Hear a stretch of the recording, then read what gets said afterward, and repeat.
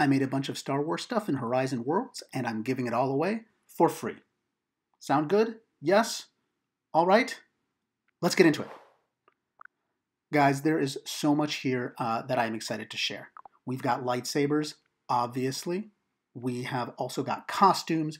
Uh, we got working starships, all different types, uh, and just a whole lot of other stuff. And I will be giving them away in two ways. Uh, first, in this video, I'm going to tell you how you can import these assets and scripts into your world. And in future videos, I'm going to break down these models and the scripts uh, so you can build them yourself, improve on them, mix and match, whatever you want. Uh, before we get into that, let's take a look at what we got. Obviously, we have lightsabers, probably the core Star Wars item. Uh, I tried to make them as accurate as possible, but I'm sure you can do better, and I would love to see that. We have Anakin's, we have Vader's, we have Luke's green saber, uh, we have Mace Windu's, we have the dark saber, which brings me so much joy. Ah, it's awesome.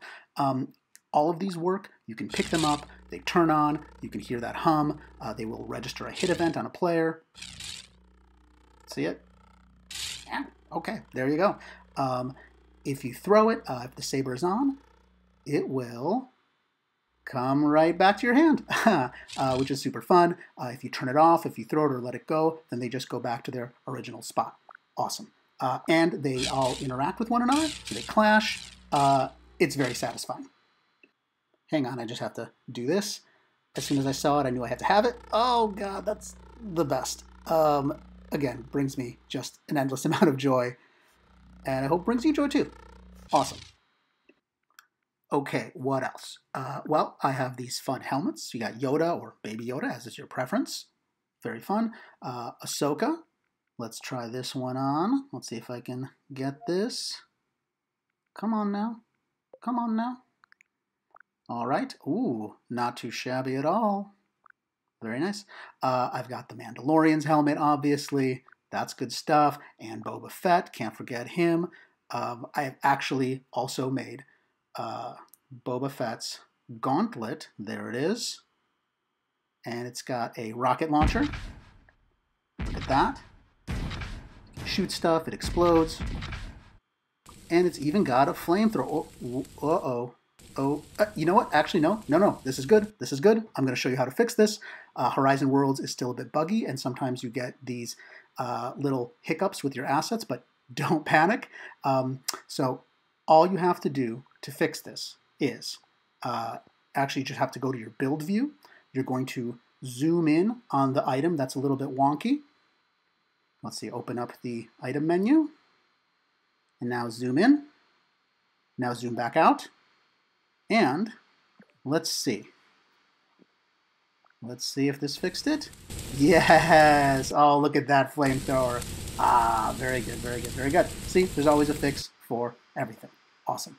So that's all stuff you can use for ground combat. But, as we know, a lot of Star Wars happens in the air. Uh, well, okay, not in the air. Technically, but in the void of space. I actually, no, sometimes in the air. You know what? It doesn't matter. Check out these starships. Yay! okay, I am uh, super proud of these. Uh, they can fly, they can shoot and send hit events to each other, they track their own health and damage. Uh, there are a ton of effects and sounds, all of which I'm going to show you how to create in a future video so you can make anything you want. Uh, as you can see, I made some of my favorites. We have the X-Wing, uh, the TIE Fighter, the N1, uh, and they even have a few different styles of flight, which I'm going to show you now. So let's look at the X-Wing. Uh, you can climb into the cockpit where you can see your ship's health display, grab the control stick, R2 says hello, and you just press and hold the trigger to fly. Alright. You can shoot by pressing button 1. The projectile collisions have sounds and poof effects. Uh, keep in mind that Worlds really likes to keep your avatar upright, so if you rotate a bit too much, you will fall out. Uh, it's best to keep a steady hand. And look at that. There you go.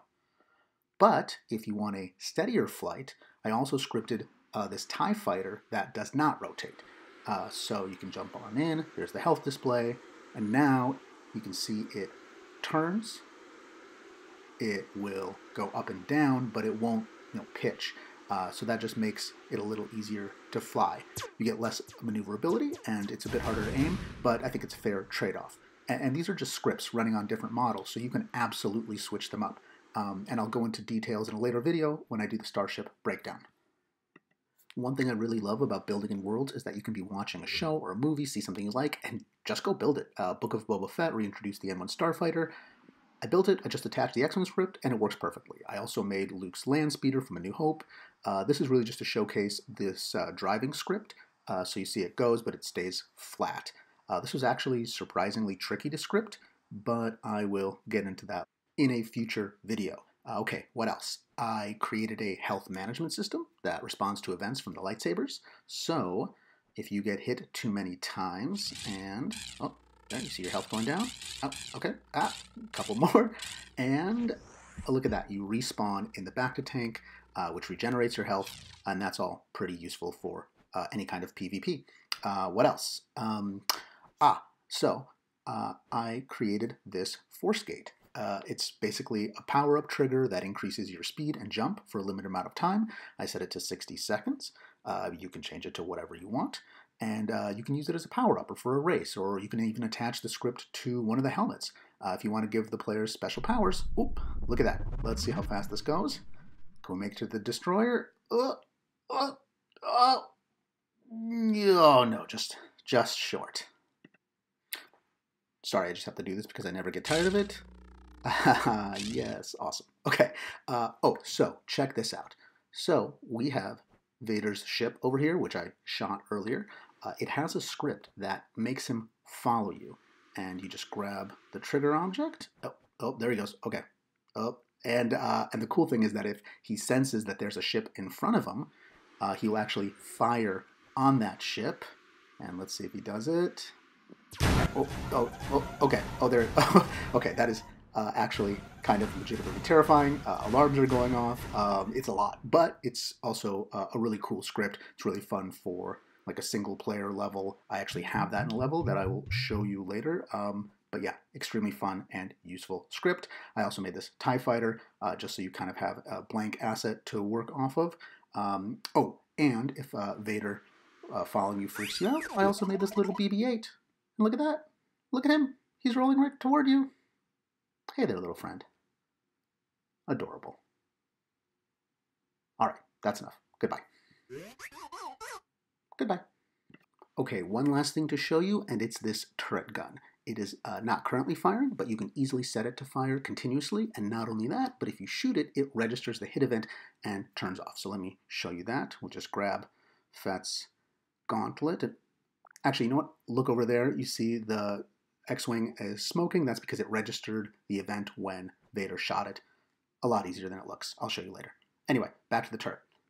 So, like I said, all you have to do is shoot it. Boom, look at that. The color goes out, it turns off, there's the spark effect. Really cool and useful mechanic for flying games. Let's just put that back respectfully. And that's it uh, that's a lot. Uh, but again, I'm giving these all away because I want to see what kinds of Star Wars worlds and experiences people can build. Uh, so if you like them, uh, I'll have future videos on how you can make them yourself. But if you just want to import these templates and start messing around, you can do that too. How? Well, all I'm asking is that you come to this world in Horizon Worlds. Again, it's called Star Wars Templates. Pretty simple. Uh, just leave a like and a selfie of yourself with an asset you think is cool uh, so I know who you are.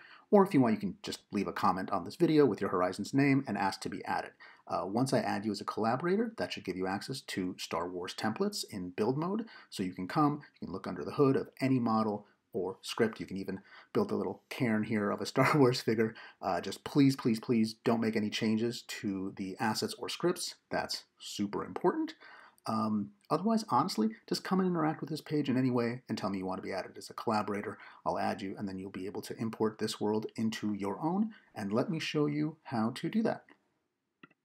To import a world like this one, uh, just go to your main menu. There we go go to world creation and create a new world. Uh, you can call it whatever you want. I'll just keep it blank world for now.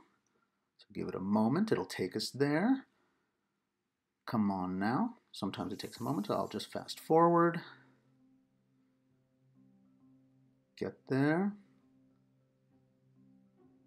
Get there. Okay, here we are.